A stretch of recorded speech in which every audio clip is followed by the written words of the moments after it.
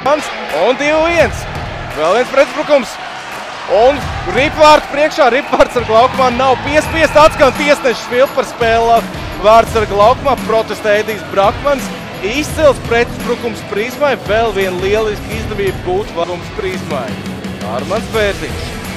Kopā ar Ēriku Visnieku. Nu jā, vārdu pārlikums. Vārdu pārlikums glābi komandu un šeit ar nu noiznārto pusi neizdodas aizliekties līdz